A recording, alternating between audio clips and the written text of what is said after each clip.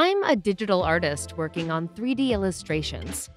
I need to adjust and re render the scene I've been working on, but I'm out of the office and all I have is my laptop, which doesn't have my project files on it. How can I use my Cinema 4D workstation when it's stuck in the office? Luckily, my company uses Parsec. That means I can connect to my powerful PC at work where I have access to Cinema 4D and all of the files for the project. Tons of animators, 3D artists, and game designers already use Parsec to use Cinema 4D from anywhere. It's loaded with features that make it perfect for creating 3D art.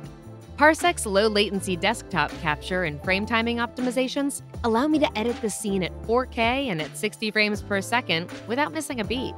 Parsec also lets me use all of the physical monitors on my work machine on my laptop through the monitor switching feature and windowed mode.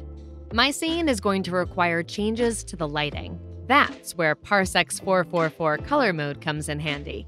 Using this feature, I know that every color I see on my laptop screen is exactly what I'll see in the final render. The best part of all is that Parsec is so easy to set up and use. Here's how to use Cinema 4D from anywhere. Step 1.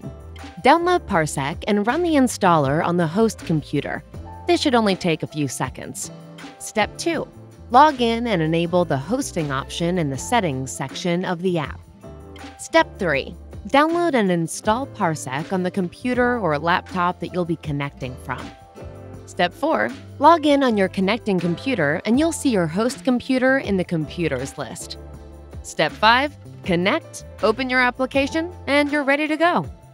If you want more pro features like dual monitor streaming, drawing tablet support, and improved colors, upgrade to Parsec Warp for only $9.99 a month. And to use those features across your organization and unlock admin features, upgrade to Parsec for Teams.